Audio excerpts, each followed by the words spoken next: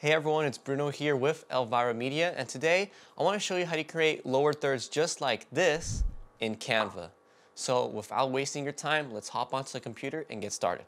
Okay, so we're gonna go to canva.com, very simple. You should have an account, and if you don't, feel free to make one because it is free. And then all we're gonna do is gonna create a design, and you can choose the custom size, or you can look for YouTube video chapter, you're basically going to have a video sized dimensions, which is 1920 by 1080. Now that we're here, it's very simple. So what I like to do first is actually set the background to green. I like using this light green.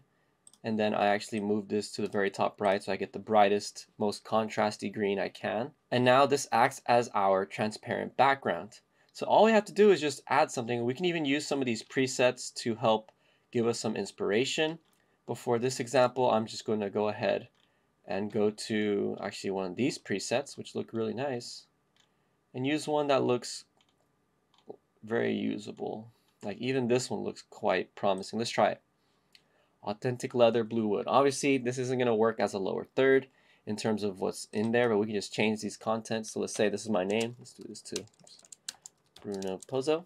And let's say my title was content creator. Now we have this lower third. We place it here, and I love using the grid lines that come up automatically when you have these open because it allows us to place it perfectly in, a, in the spot in the video that's going to be very natural.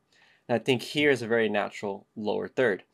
Of course, we can always put this in other positions. I like using this, so sometimes you need the center, which can be nice if I was centered, which I think I was in this video, so I will actually put it there for this time. Now, this is where it gets fun and creative because in Canva, we have options to animate our text and our pages. So, for example, we can choose to animate the whole page by selecting the background. And if you go any of these, you select one of these presets and it'll actually just preview what the animation will do. So simple kind of does a fade in, sleek kind of slides in, which I like. Fun is an interesting one. I actually like that. It's like it kind of slides in. Party it bounces in. Disco. Ooh, I kind of like that one. Corporate. Also very, very sleek. Chill.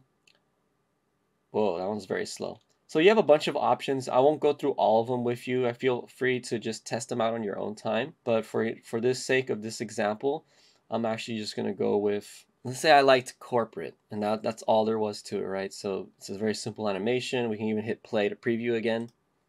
Boom. We can adjust how long this clip lasts. I would say 8 to 10 seconds is really good. So I will do 10s because I can always trim it back down. Whoops. Make sure you hit enter when you type in the, the time. And then this sometimes changes the speed of the animation. So feel free to just make sure it's at the right speed. Perfect. I mean, that's, that's exactly what I wanted. But the thing is, if you do a page animation, there's no exit animation. So I want to create an exit animation. So I'm going to click both of these.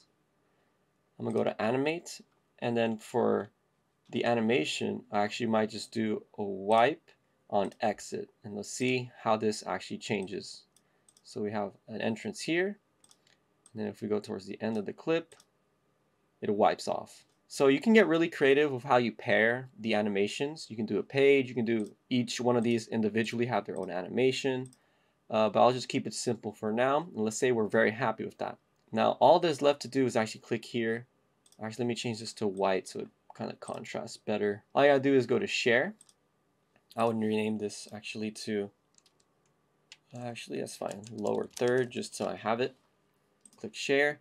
We're gonna go to download. MP4 is perfectly fine. We're gonna hit download and it'll begin its process of downloading. All right, now it's done downloading all there's left to do is actually hop onto our editing program and add this in and I'll show you how to remove the green screen in the back. Alright now here we are in Adobe Premiere but it doesn't matter what program you use as long as you have a way to chroma key or ultra key which I'll get to shortly. So we're to upload our footage. We're to put it in here. Now we're to add our lower third where we believe the video has the moment that we need the lower third in. So I'm to take a listen. Hey everyone, it's Bruno here with Elvira Media. Perfect, so I, that's roughly where I would want it. I would say maybe even closer to here. And as of right now, it's not removing the background. But this is where we go into our effects. We're gonna look up Ultra, and you'll see Ultra Key here. It may be called something else on your program, Chroma Key, Ultra Key, um, some sort of key. You can even just search key. I think this program has a few other options. Once we've applied the Ultra key to our green screen, we're going to have to go here into the effects page and you'll see the effect and you'll see that the color is set to black. So all we're going to do is actually go to here, click the eyedropper here and select the green that we have put in the background. And now you'll see that it automatically makes that part transparent while keeping the lower third intact. So now let's actually come back here and play back. Hey everyone, it's Bruno here with Elvira Media, and today I want to show you how to create lower thirds just like this in Actually, I guess I would even do it like right here where I say this. And let's say this is too long and I want the animation to come out sooner, I would just simply cut it. So I'll go somewhere here and I'll just bring it in.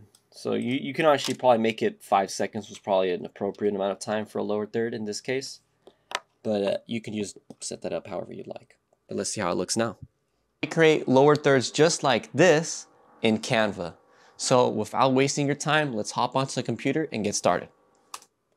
Perfect. So there you go, guys. That's how you can do a really simple uh, lower thirds. Of course, this applies to anything in Canva. So you just have to make the backgrounds green or a separate color from the elements that you want to uh, include in your video. You can do this for graphics, titles, lower thirds. I'll show you a few more in the future. I actually have a previous video on how I did this for motion graphics that you can check out if you're interested. But yeah, feel free to use this. I find this super helpful and it makes the workflow a lot easier because you don't have to manually animate all this or find these uh, paid or sometimes free options, but they sometimes lag compared to Canva. It just works seamlessly. And that's all for me. Thank you so much for watching. Pretty straightforward tutorial. I hope this was helpful to you guys. If you have any requests for other Canva tips, feel free to leave them down below in the comments. And I'll see you guys in the next video. Peace for now.